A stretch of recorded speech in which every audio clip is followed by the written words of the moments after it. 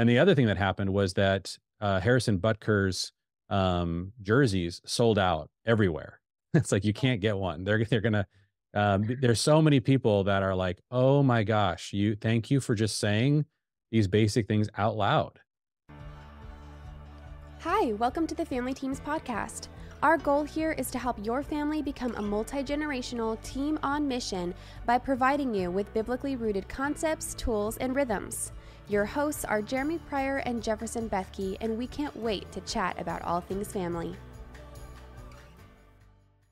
Hey, everybody, welcome back to the Family Teams podcast. This is a momentous day because uh, we have been just pummeling any of the any of, any of our listeners with fatherhood uh, content for especially the last six months, and so I have been um, very much trying to figure out how do we do a lot more content around motherhood. And so today we are going to be bringing you a uh, motherhood only podcast. The first of many uh, is the plan. So I'm really excited about this. I am joined today by my lo- lovely wife, April, and then uh, um, Justine Cirullo, who is married to Chris Cirullo. Some of you guys uh, have seen Chris on the Fatherhood podcast. Um, he is the purveyor of uh, Mission Fit Dads. So any dads out there looking for um, getting uh, getting some personal training uh, for getting getting fit. Uh, Chris is definitely the guy to to reach out to there. Um, and then uh, Michelle Akrami and her husband Cameron's been on that podcast as well a lot lately. So um, Cameron, he's a purveyor of an interesting YouTube channel on gardening. What's it called, Michelle? The Busy Gardeners. Yes, the Busy Gardener. And so one of the one of the features, if you jump onto their YouTube channel, is uh, you'll see Cameron's um, uh, mad fathering skills uh, as he leads their family in various gardening things um, as well. Just uh, just lots of great tips there. So um, so that's uh, we're going to be talking today about motherhood. So Michelle, Justine, April, and I. I'm here to host. I'm not a mother. I know nothing about motherhood other than just theoretical. So I'm going to be trying to tee up the conversations that we're going to have today, and um, we've got a couple things that I'm excited to talk to you guys about. So uh, the first one is there is a brewing controversy that has erupted on the internet, and it is absolutely fascinating. It's really important to cover this from a family team's perspective. One of the reasons why I love doing these uh, kind of reaction slash commentary videos that we're going to be doing today is that at family teams we have a really unique way of thinking about the topic of family. We're not really hitting this from a just a, a pure traditional um, perspective, um, which oftentimes is attempting to figure out how to recapture the golden era of the nuclear family from the 1950s. That's not our goal. You'll see that from a lot of things we're going to talk about today. Uh, we we really think that we need to go way further back to find the actual biblical blueprint of family, uh, which is in Scripture and is something that most people have never even seen before. Um, it's it's really been eclipsed in the West and hasn't really um, been in our culture in force for well over hundred years, and that is um, the family as a team, a multi generational team. Uh, that's a totally different idea, and so we would like to interact with a lot of the content that's going that is being um, discussed from uh, not not from that sort of traditional Christian sort of 1950s nuclear family perspective, but from our perspective, um, from the the family team, which is we think is is really the scripture scriptural uh, way of, of viewing family. So we talk a lot about this, and and you guys who are familiar with our content um, are are aware of that. But we we want to be talking about what this looks like as fathers and mothers and in that kind of multi-generational family team roles are really important and so we we don't hide from the idea of there being roles in the family. I think it's very confusing for modern people to think about the roles that it seems like an assault on individual freedom. That's kind of the way it's framed by our culture. Uh, that's not at all our perspective. Um, we're trying to build a certain kind of family according to the, the original design that we see was given to the family in genesis 1 um, when god told the first family to be fruitful multiply fill subdue and rule. And so we want to talk about things from that perspective. And and so we, I was really fascinated by what happened um, this uh, this this week with the eruption of this particular controversy. Those of you guys who are watching this, I don't know how much further into the future we're going to be able to post this. Hopefully, we'll post this really soon so you guys can can uh, can interact with us on what's going on right now. Um, but basically, the uh, the kicker of the Kansas City Chiefs, um, Harrison Butker, he uh, went to a Catholic university and uh, a private Catholic university and gave a commencement address as a Catholic man to a basically a complete Catholic audience. And he articulated Catholic beliefs that the Catholics have have believed for hundreds of years. And just saying these things out loud in a recorded venue is enough to get just an incredible eruption of controversy going. So I'll, I'll play uh, one example of the uh, hysterical reaction that people are having to to just basic things that um, that Butker is saying.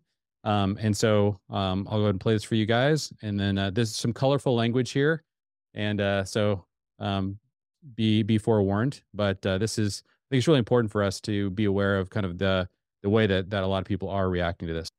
The kicker for the Kansas City Chiefs, who has got to be the most sexist, white supremacist I have ever seen in my life. Watch this. I think it is you, the women, who have had the most diabolical lies told to you. Some of you may go on to lead successful careers in the world, but I would venture to guess that the majority of you are most excited about your marriage and the children you will bring into this world.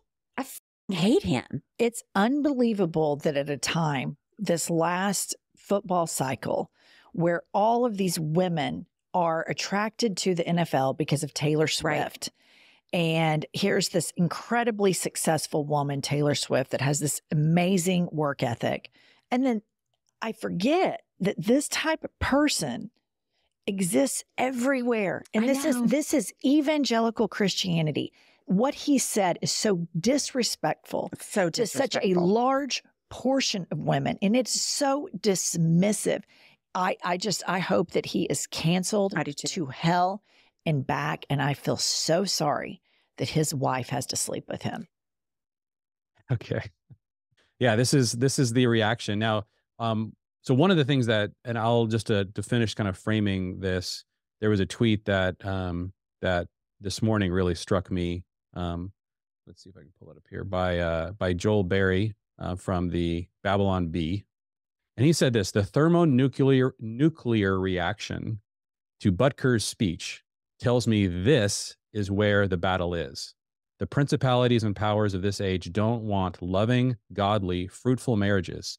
And such marriages are the greatest threat to the forces of darkness. They just told us how to win.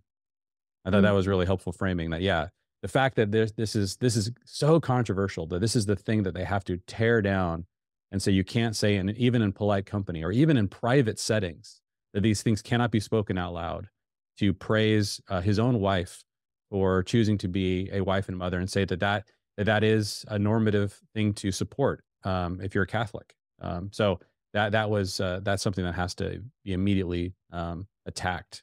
And so yeah, so I'd, I'd love to hear um, any reactions that you guys had. April, I'll start with you, and then we'll just kind of go around the horn, Michelle and Justine. But yeah, April, how did you re- react to that when you when you heard that clip?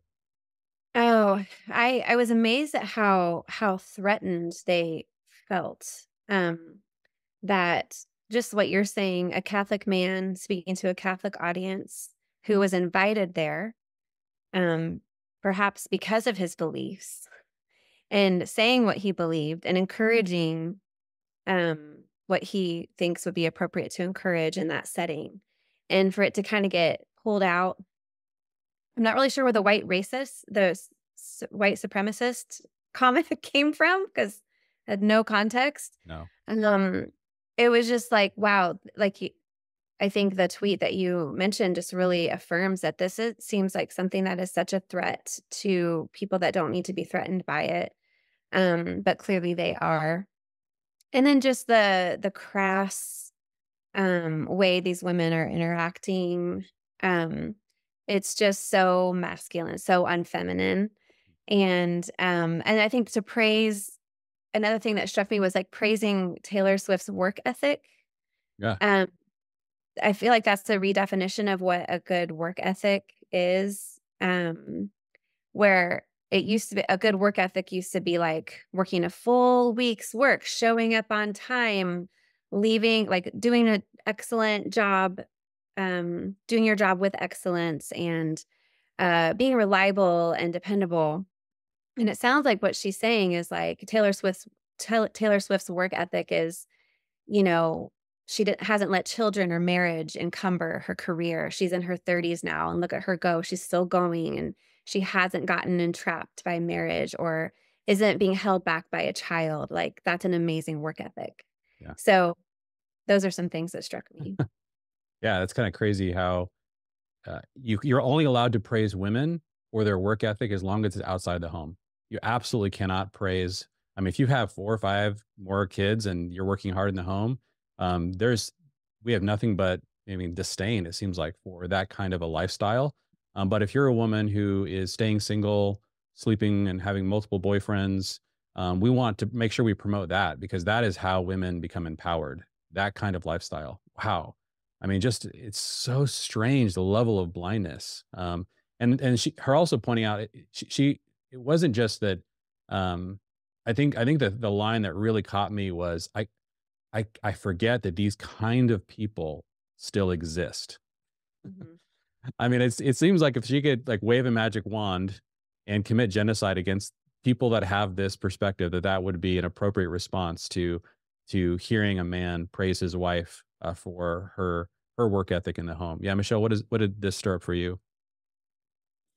Well, I think it's it just reminds me of when we're confronted with truth. You know, we've got five kiddos of our own, um, spanning from 14 down to seven or eight now. And, you know, if I'm speaking truth to them, I've had times where they, you know, they're just they do this for a second and have a tantrum. Yeah.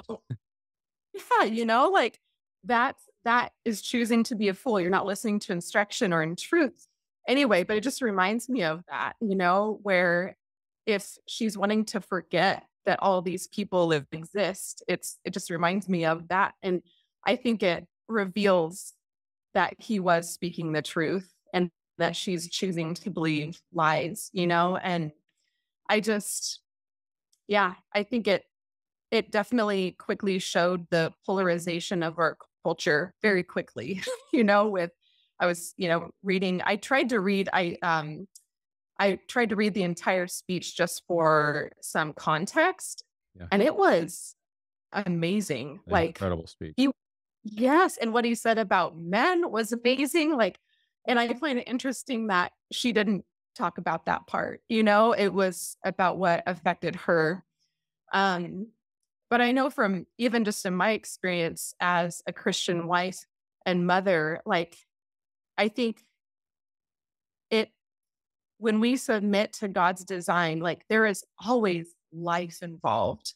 But at the beginning, there might be something, or there is like a dying to self that everybody in the world, like we want to reject that. Like, no, like I want to do what I want to do.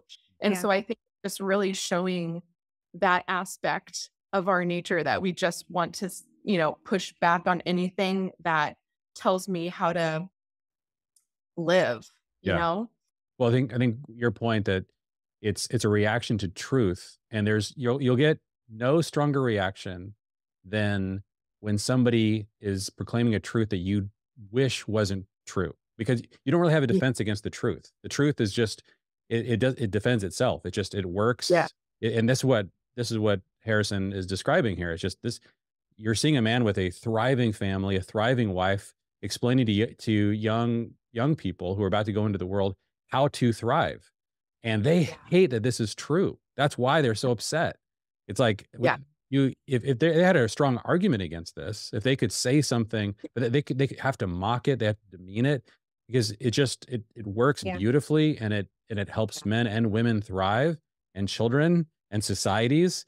And so you you have to fight all of the gravity of the way that this truth is is creating all of this life like you said the truth creates life and and so that that that is i think why you have to have such a visceral reaction against this. So yeah justine how about you? What did what did this start for you? Have you ever considered starting a family business so you can spend more time working as a family team? We've started a year-long coaching program called family inc where you get weekly coaching with Jeremy, access to our video training for launching family businesses, and lots of ideas for businesses to start that are working for other family teams. Head over to familyteams.com and click Family Inc. to learn more, or to set up a strategy call with Jeremy to see if this might be a good fit for you. I found it interesting. So when I first watched the clip, I didn't realize that it was at a Catholic private school, which I feel like the context makes all the difference of like who he's talking to. Um, so then I found it surprising that these women were having the kind of reaction that they were given the audience that he was speaking to. And then that they were saying that he's being disrespectful and dismissive while they are being disrespectful and dismissive was just very weird to me.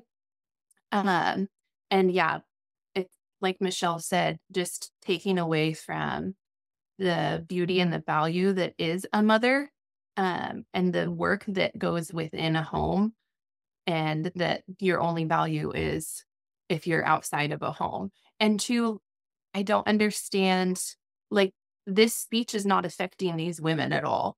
Right. Like, so ha- them having the reaction just seems a little unnecessary to me right. or like just over exaggerated. Um, yeah. yeah, it's kind of crazy. There, there was like two interesting reactions um, on, on terms of like the immediately after. So the NFL actually issued a public statement denouncing basically uh, his position and saying we we support it. We're we're an inclusive organization. So they felt the need to distance themselves from his speech at a private Catholic university, saying things about uh, things about Catholicism, right? Christianity, basic things the Bible teaches. Uh, so that that was that was a reaction that that that that there's only um, one officially um, acceptable way to think about this topic.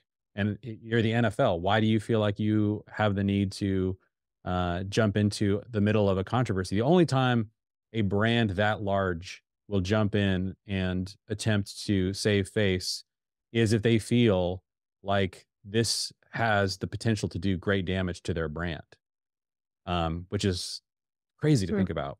And the other thing that happened was that uh, Harrison Butker's um, jerseys sold out everywhere. It's like you can't get one. They're they're gonna. Um, there's so many people that are like, "Oh my gosh, you thank you for just saying these basic things out loud." Um, now, the reason you guys why we're really interested in this conversation at Family Teams um, isn't because we're political. One of the things that you have to understand is that I don't think that these are particularly political issues. Um, but the problem is that when a lot of people who don't have any faith they put into the political arena everything including sexual ethics including family values um, these things are i don't think are political historically they've never been political issues you, you wouldn't be able to tell if somebody were on the left or on the right based on what they thought about whether or not the family is a good thing or their particular sexual ethic that's a very recent phenomenon. And so one of the things that you have to hear us say is that we I have zero interest on this podcast to get involved in political issues, but when the political invades these spaces of our faith, where it starts to to make definitive statements about sexual ethics, when it starts to make definitive statements about the value or or the lack of value of certain family lifestyles or things that will impact children uh, and uh, and men and women and fatherhood and motherhood, then we have to speak about those things. And we can't be sensitive and say, oh, be, well, because uh, it suddenly has become a political football to have a conversation around uh, these things. Now we're going to have to retreat from that space. No, we don't retreat from spaces that are a part of our faith. Um, we we try to do everything we can to keep the political out of that world, that realm. But we sometimes we don't. We're not the only ones who get to make that decision. Uh, that decision is made by um, oftentimes people that that decide to make it a political issue instead of saying, no, no, that's the realm of that's the realm for family or for faith or for people's values or their worldviews. And so this is a really complicated problem that that we're that we're creating. So yeah, any other thoughts you guys have about what, what do you think? I, th- I think part of what I'm I'm really trying to uh, understand about about what this is suggesting is is it like like I just I, what does it say about what is occurring in the realm of of motherhood um, if if we've created a culture i'm just imagining a, a, young girl growing up in a culture in which it's inappropriate to publicly say praise motherhood in the way that that, that harrison butker did. Like what, what does this do to our daughters?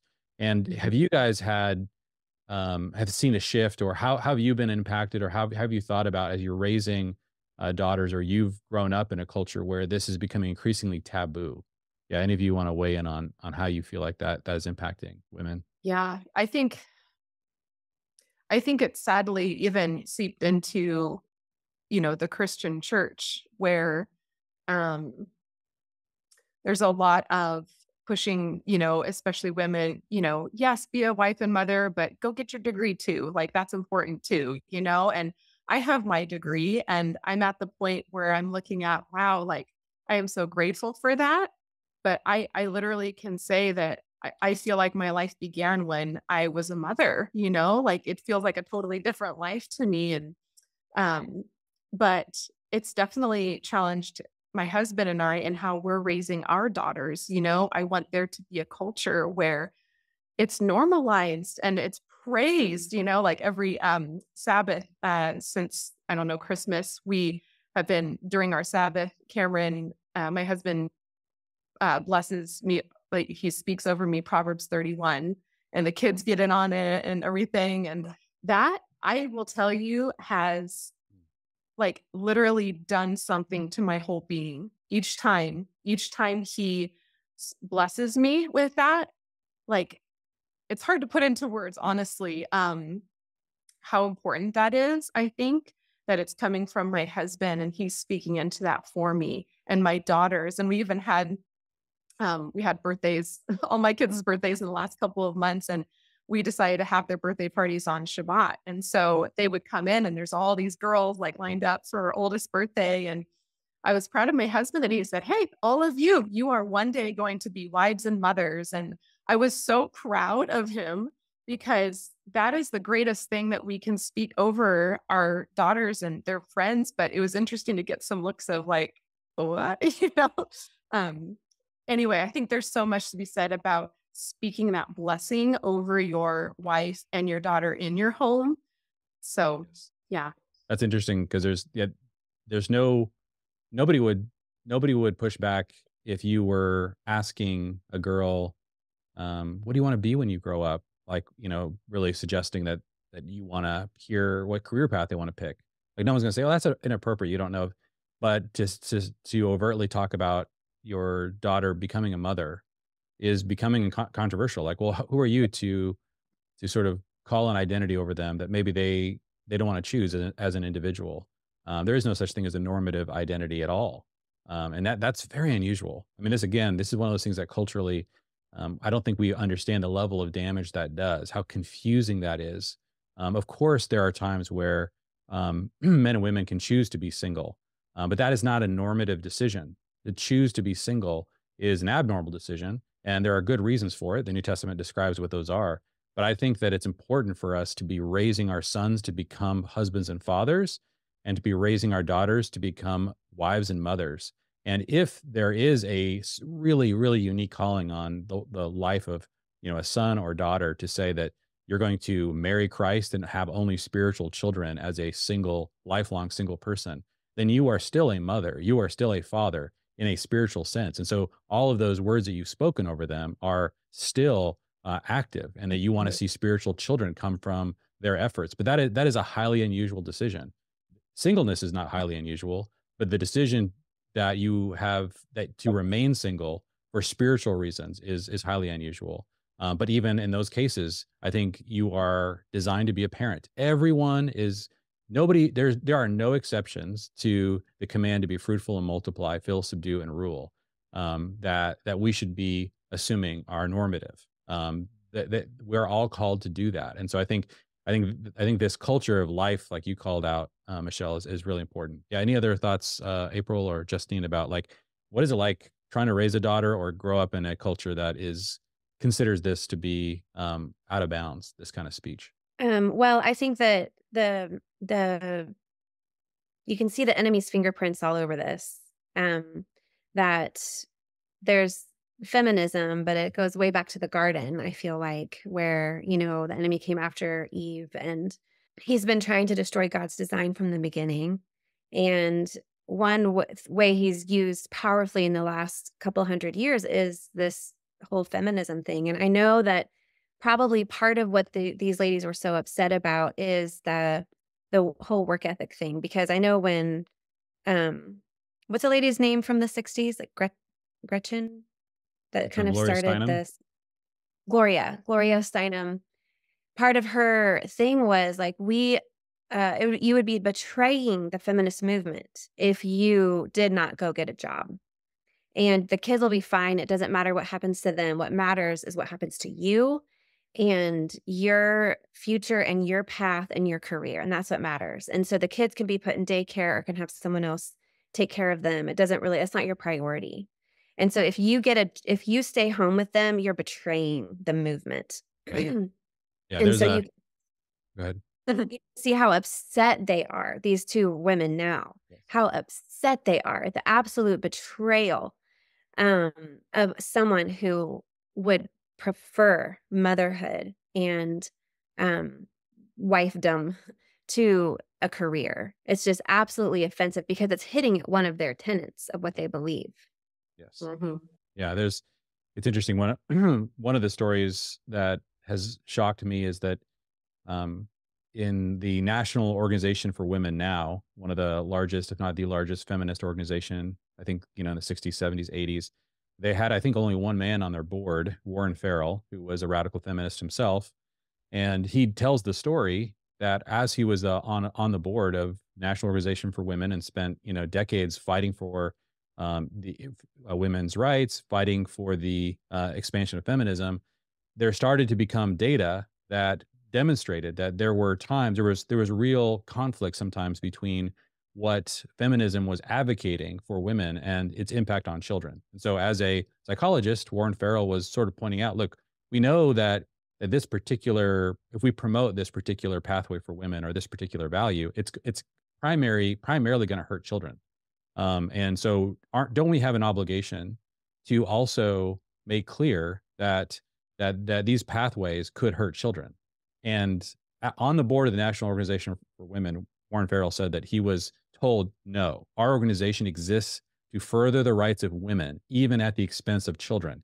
And what you said, April, is "Hmm, yeah, that's that, that is that is a hidden uh, kind of part of feminism they they refuse to really face uh, the the when there is a, a tension or trade off between women and children. If then we will we will to choose children. And so Warren Farrell in um, You mean choose women? I mean choose women. And uh, yeah, and and so in protest for this decision, he resigned from his board position, and uh, he wrote this incredible book, you know, called The Boy Crisis, um, about about how so many decisions that are being made are really, really hurting children. And he wanted to especially sort of uncover the impact it was having on boys. So, yeah, th- this this um, this tension is real, and I think we just need to we need to honestly face it. And and I think oftentimes what feminism does is it intentionally hides the tension. And so we're going to you know be digging deeper into into that. And I know it's it's difficult to face. It's hard. Oftentimes it creates a lot of regret, and it makes people feel judged. And there's a lot of difficult implications for facing um, the, the what what's happening when we promote uh, certain lifestyles that that are really destructive towards children, um, but what Mhm. seem to be like uh, uh, advantage women in, in some way, usually um, more as an individual. And so here, what we want to talk about is the impact of these this is having on families.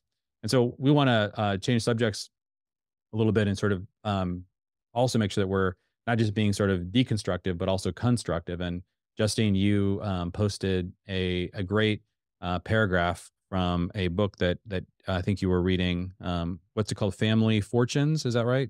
Um, Yeah. yeah, I, I really like this a lot. And so, uh, Michelle, you were describing, you know, at your Shabbat table when Cameron um, he reads the Proverbs 31 blessing over you, and um, we've had that practice as well. Um, and we're trying to. I'm always trying to figure out how how do you come into your identity as a as a matriarch, and um, and so this this is really interesting. The Proverbs 31 woman is is a, is really it is the it is the uh, depiction of of the of the biblical matriarch. Um, this woman is clearly older, um, and she is working, but it's always through the the household, and uh, and so a lot of people have never even seen what a matriarch looks like. I I just was looking, I was kind of interacting with somebody on on on Twitter on X, who was saying that it's so dangerous to tell women to stay at home and care for children because when they turn like 45 they'll have nothing to do. And i'm like okay this is this is one of the problems and this is one of the things i think we like to talk a lot about here at family teams and that is that man your your world if you're if you have nothing to do by the time you turn 45 um, then you are taking a different pathway than certainly we describe and what's being described in scripture.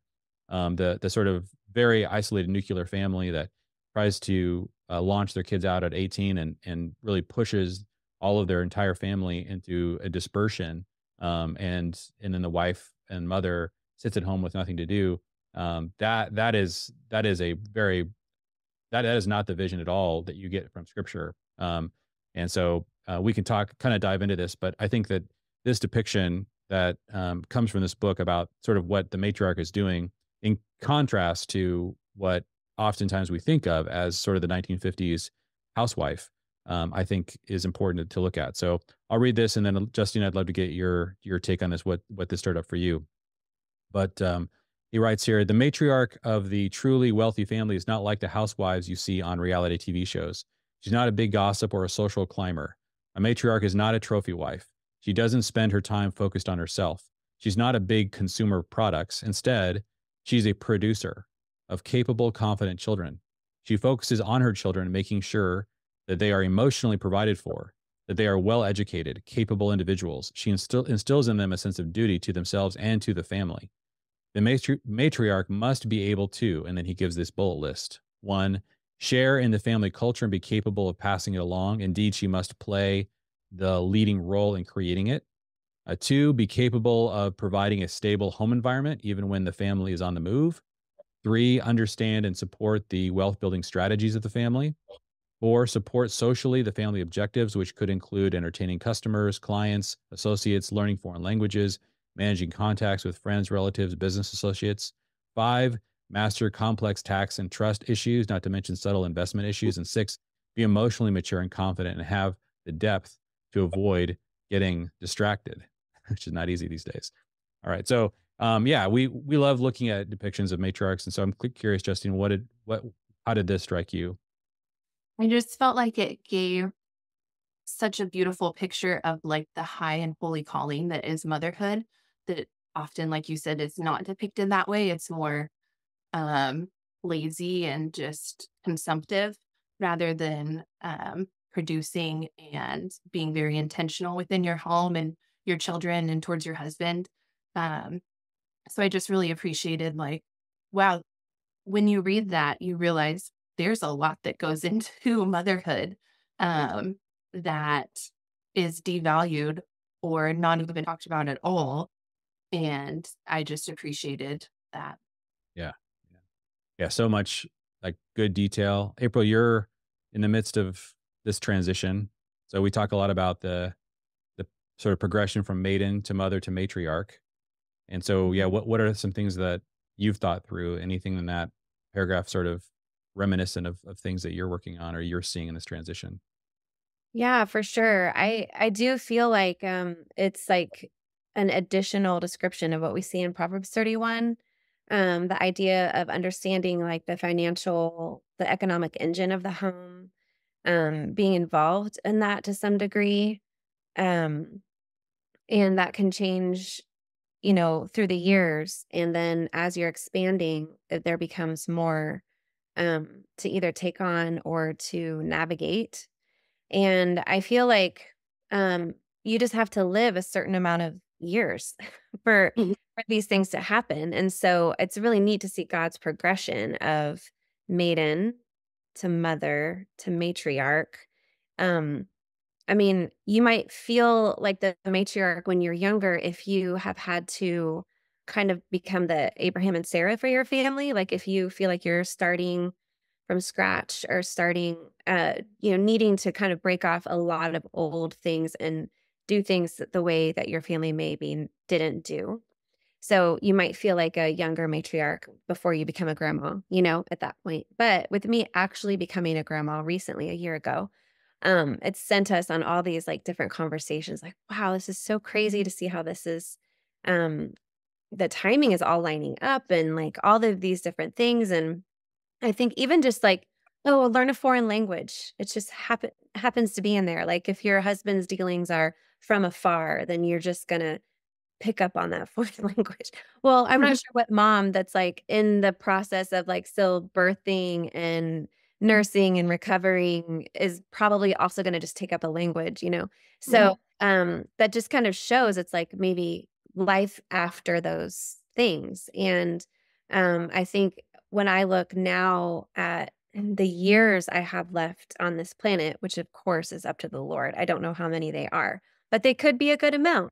And um, so seeing what you can do and just reflecting on on how many years, like Jeremy and I just had our 26th anniversary. Like, wow, 26 years. That's so long. But then when you look at my in laws, they've been married 56 years. And it's like, wow, that's so much longer. So mm-hmm. it's like there is so much life to live and there is so much to take on and so much, so many ways to expand. And as a matriarch, that gets me really excited about um, what's to come. And we don't even really know what that's going to mean. We don't know how many grandkids we're going to have. We don't know how like how far apart they're going to be or what genders they're going to be or um, where they're going to be living and so um, what that's going to mean for us but the fact that we i kind of open up my the continuation of surrender like michelle said like at the very beginning you're like laying yourself down so much there's this um, kind of self-sacrifice which of course the world hates but this idea that jesus gives us the example as a believer of laying down himself for others. And so we can do that in our motherhood in so many practical ways. And then it can continue on into matriarch. It's not, I'm not viewing the matriarch season as um, a time to just finally, you know, stop caring and be able to put my feet up. And all of a sudden, I don't really care what happens to my kids. Like that just is impossible to think about. So the idea that like I'm willing to still pour out my life for you and um practically. So if I have a pregnant daughter, I'm going to, you know, shave her legs for her when she's eight months pregnant or paint her toenails. Or I'm going to, you know, watch the, wash the dishes when her belly gets so big that the sink is really hard. Like those kinds of things just to come alongside and encourage. Um, a lot of it is just so practical. Yeah. A lot, you know, alongside the kind of big picture philosophical stuff. Right. Yeah, it is very practical. And that, that's where I think that I think that the the way that certainly our lifestyle is and and what we're advocating for and we're seeing for families who think about their family as a multi-generational team, the role of of the mother and then the transition to matriarch, your job just gets much more complicated and more multifaceted, right? Because you have the wisdom to handle that level of complexity. Uh, far from like, oh, all of a sudden now I've lost my job when now the kids have, have left the nest. Uh, we don't believe in empty nesting. We don't believe that the family is a nest. We think the family is a team. And so, what you find yourself doing if you're on this pathway when you become a grandmother is that you are now at the top of a, of a growing organization with lots of economic implications. Um, we've got multiple businesses and assets that April and I get to manage together and working together. You've got, you know, now we have two married children and they're starting businesses um, and having kids. And then we, you know, so there's there's the level of complexity like is is it's like it's very stretching. I know April, you would, you know, it's like every day I feel like you're being stretched and you you have multiple degrees and you know you could be using all of those talents in other ways, but you've really focused those talents eh, on our household. And what a lot of people I think are hearing this, you have to you have to understand that we're, what we're talking about is a household. Um, and if you're not building a household, if you're not building your family to be a household, that it involves things like economic engines that are going through the household, then I know this might sound strange, like, oh, what what is the role that what what are you what are you exactly doing practically? And there are like the small details of practical things that that have to be worked out, and then there are some really big picture things that we're constantly working on together. Like what you hear? Be sure to leave a rating and review for this podcast wherever you use streaming. April and I have like we have multiple meetings a week. We we meet with you know various you know different entities that we're we're managing. We've got a nonprofit and multiple businesses and you know real estate assets, and then we've got all of our kids that are growing all those things. And so there's so much to to growing a household and preparing our our children to grow a household. Um, so yeah, there's a lot going on there. And part of you know when you hear me even in the intro, I kind of promoted, um, you know, Chris's business and Cameron's, you know, his YouTube channel because I, I just see that I don't. Uh, somebody might hear that and go, "Oh, why would you even mention what their husbands are doing?" It's like I don't think of it that way at all. This is what their families are doing. Like these are things that are supporting their families and that, you know, their wives are going to be a part of supporting in whatever way, you know, that they, they can. But this is this is just part of the whole deal is that the economics um, uh, are an integrated part of the household. The businesses and assets that are owned by the family are nested underneath the family. They're not some kind of separate individual identity being chased by one member of the family. And so that, that's a very different way to to think about it. So yeah, I'm, I'm curious, Michelle, for you, as you think about like, as you're moving closer and closer to getting into um, the matriarch stage, what are some things, elements of this that are, that are uh, kind of standing out to you? Yeah. Well, speaking of gardening and my husband's channel, um, I just keep getting this visual from the garden, which is helpful for me. And maybe it's helpful for listeners today. Because when we plant seeds, seeds are already designed by the Lord to reproduce. And so you know, when we planted our kale plants last year, we've been enjoying the fruit. You know, we've been enjoying the kale over and over. And, um, but right now they're starting to seed. They're sending out the flowers and the seeds are forming, and pretty soon they'll fall to the ground to reproduce. And well, April was sharing about motherhood and just the different stages. I just was thinking of how God's embedded that same process in the garden um, where there's, you know, one seed starts it and then a plant emerges and you get to enjoy, you know, the person enjoys the the fruit of it. And there becomes a point where, like actually for kale, once it starts to flower and there's seeds, the leaves that are remaining become bitter. Like you can't eat them. They're super, very bitter. Um, but it's because the the plant is using all of its energy to reproduce quality seeds. Mm. And it's just, I feel like that's a, a, a picture of motherhood where you know we're at that stage of you know almost two teenagers and just really like trying to get them in a position to like go to their next stage you know where they're and it i don't know so if that makes sense um it's just kind of cool to think about how there's other things in nature that point to that same thing there has to be of laying down of their, you know, the life in order for the next to thrive. No, that was great. I, I, there's a life there's a life cycle that you have to embrace, and I think this is really intimidating for people in our culture because you're only mm-hmm. allowed to ever be a maiden in our culture. You see someone like Madonna in her is she in her 70s now, like still dressing and acting like she's in the maiden stage. It's it's never appropriate to just say no. Now I'm a mother, and so I'm in a new phase. Now I'm a matriarch you know, this is, I think this is what's so disturbing about what's going on with Taylor Swift. We were talking about earlier, which is, um, you know, the fact that, you know, it was cute when she was in her twenties, you know, like, oh, I'm trying to date. I'm trying to find the right one. Are you still trying to find the right, right one? Like, like, and now her latest album apparently has gotten a lot, you know, a lot more cynical. Yeah. That, that like this is going to happen if you don't make those transitions properly. It's really important that we tell women this. They don't know this. They're, they're really taught you need to constantly fight for that maiden stage and just hold on to by the you know, by your fingernails um, and, and into your 50s, 60s, 70s. It's like, man, how is this helping women? You know, it's like, this is not realistic at all. This is not helpful. Um, and we need older women to say, hey, whoa, whoa, whoa. You're like, it's okay to make this transition. You know, you're not losing something that that isn't taking you into a better place. But that's the reason why we need people like going back to our previous conversation where, you know, we have to be able to say out loud that these transitions are good. And there have to be men who are saying, I'm not just interested in um, going from one maiden to another maiden. I want I want to marry a woman who is making the transitions and we're doing it together. She's mm-hmm. becoming a mother, I'm becoming a father. She becomes a matriarch, I become a patriarch.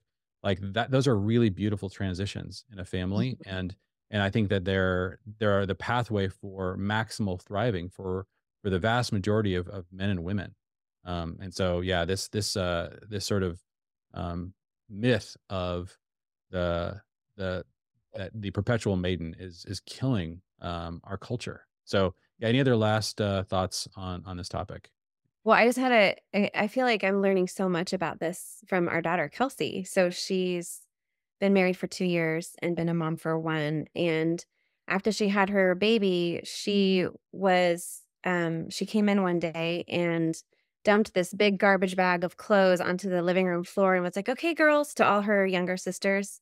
She's like, here's all my maiden clothes. I will never fit in these again and probably shouldn't ever wear these again. So if any of you want them, and she kind of walked away, and I'm just sitting there thinking, I remember saving my clothes and trying so hard to like fit back into them, or just the mental idea of like, oh, I'm letting go of something, or I should be able to fit, or, you know, this for her, it was like, boom, boom, done. I am now a mother and this is where I'm heading. And I, it just seemed, it was really encouraging to me. Um, cause that's not something I directly taught her, but it's just like, was an outflow of what she believes about um, motherhood and this transition into starting their own branch of the family. Yeah. Well, I think that's a testament too that she saw you thriving as a mother, Mm. April. And I think that I think that when you see that, I think a lot of women they they really saw their mothers struggle so much uh, with being a mother that it's like they're they haven't seen a good example of like of Mhm. a mother who's thriving and then certainly a matriarch who's loving being a matriarch. Like we need we Mhm. need this and this is part of the reason why it's as, as difficult as it is for us to get on these podcasts and just you know expose ourselves a little bit publicly to I think some really controversial topics. It's really important for us to talk about these things because um, because a lot of people in their own families they're, they're just not seeing um, any hope. They don't they don't see a good pathway um, Mhm. through these transitions. And so yeah, we're going to talk a lot more about these transitions as we have more conversations about motherhood on the podcast. So I just want to thank uh, Michelle and Justine and April. Thank you guys so much for joining me today and everyone for listening. And yeah, please uh, let me know if you if there are topics you want us to cover. Like you can uh, direct message me and and and the rest of us at Family Teams. If there are like videos out there that you think would be really helpful for us to comment, I really love getting those messages. So um, try to shoot shoot those over to me, and and we will continue to have these these conversations. But yeah, thank you all for for joining uh, the podcast today. Thank you for listening to the Family Teams podcast. If you're enjoying this content or have learned something new, please make sure to leave a rating and review and share with a friend. To stay up to date with our events, new content, and products, you can follow us on Facebook and Instagram at Family Teams.